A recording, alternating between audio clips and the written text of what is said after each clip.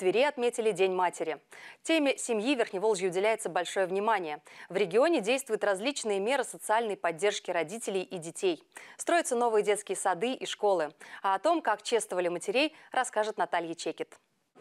Такая большая и дружная семья. Наталья Петрова из Твери воспитывает шестерых детей, трех дочерей и трех сыновей. Наталья рассказывает, что большое внимание уделяет всестороннему развитию детей, приобщает их к здоровому образу жизни.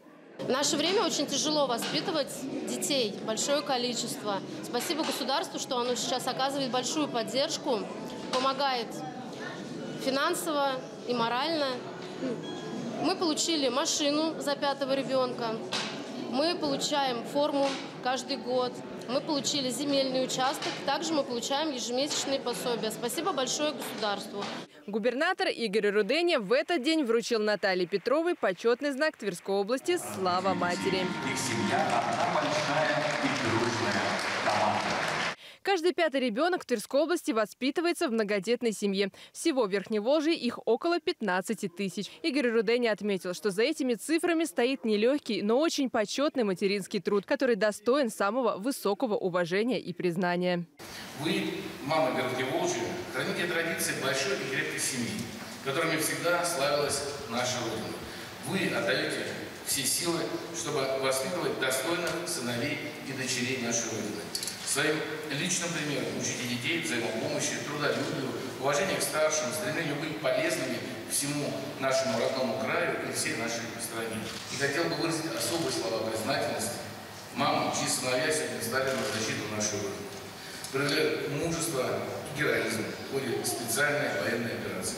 Этот день наградили победителей регионального конкурса «Лучшее семейное подворье», который проводится в регионе уже в четвертый раз в рамках нацпроекта «Демография». Ими стали Роман и Анна Шалтыновы из Кашинского района. В их семье трое детей, у супругов личное хозяйство. Говорят, что жизнь в деревне хоть и трудная, но не менее насыщенная, чем в городе. У нас э, коровы, телята, быки, пчелы, овцы, гуси, куры, много чем. Пока что одна лошадка. Да, дочь накопила сама на лошадку. Во всем нам помогает. И телят поет, и коров, когда накормят. Доить даже умеет уже в свои 8 лет. Курочками сама ухаживает? Да, курочки полностью на детях у нас. Сами ухаживают, сами яйца собирают. Для каждого человека мама – это неиссякаемый источник доброты, заботы и нежности. Материнская любовь делает сильнее и увереннее, помогает преодолевать жизненные трудности и верить в собственные силы. С праздником всех мам поздравил митрополит Тверской Кашинский Амвросий. Мама – это начало каждого из нас, начало нашего жизненного пути, нашей судьбы на дороге жизни.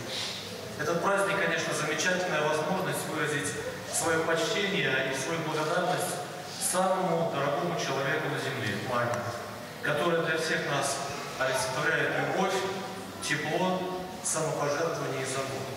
Сертификат на приобретение автомобиля в этот день вручили родителям шестерых детей – Николаю и Ольге Мукаид из Калязина. У них три сына и три дочери. Старшему 18, он уже учится в университете, а младшему 8 месяцев.